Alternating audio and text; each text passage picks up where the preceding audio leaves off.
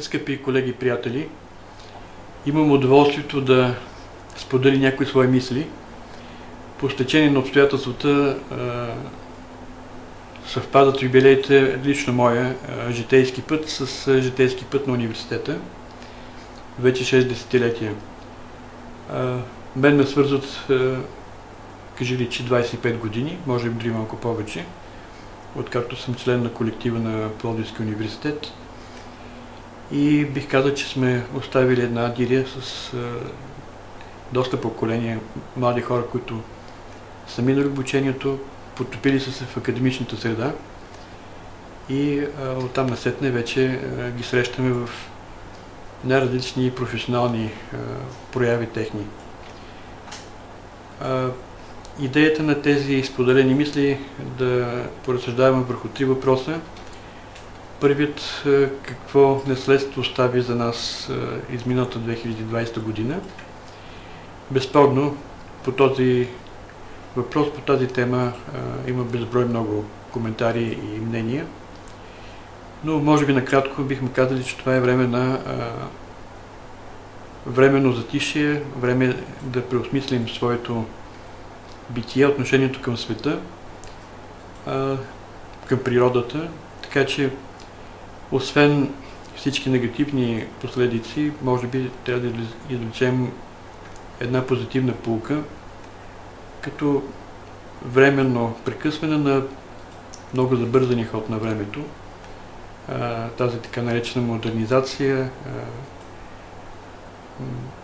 главоломния марш на технологиите и да се върне към себе си.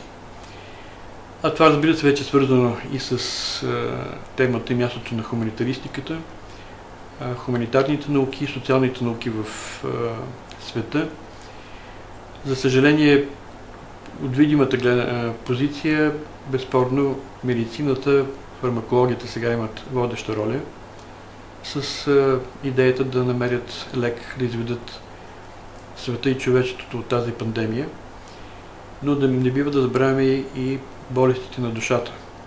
А те останаха най- видими е, тази ранима душа в времето на локдауна, е, на така, неочакваното, необичайното изолиране.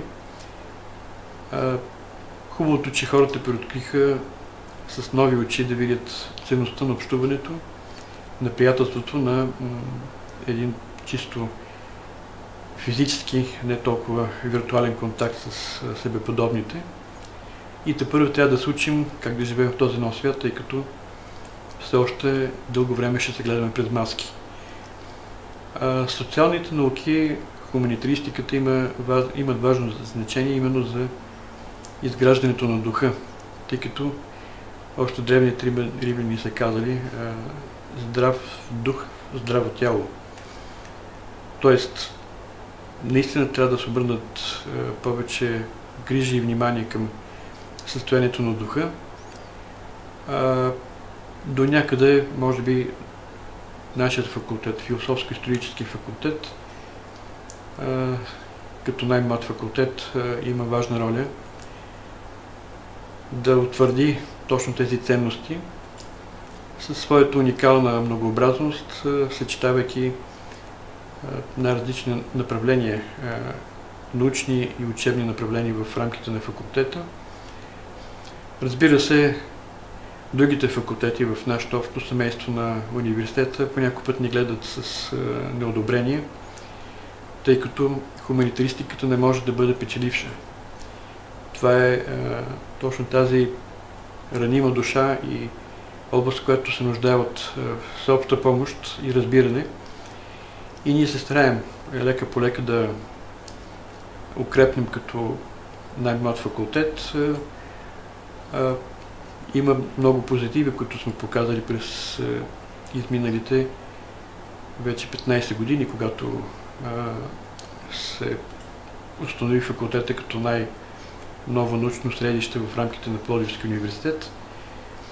И до голяма степен това, което вършат отделните катедри и отделните учебни направления, има най-тясна връзка с духовността на град Пловдив, неговата древност – неговата сегашна духовност, културата, хората, които са най-главната ценност и това многообразие, което пресъздава уникални град Пловдив и неговото рефлексия на фона на различните факултети в рамките на университета.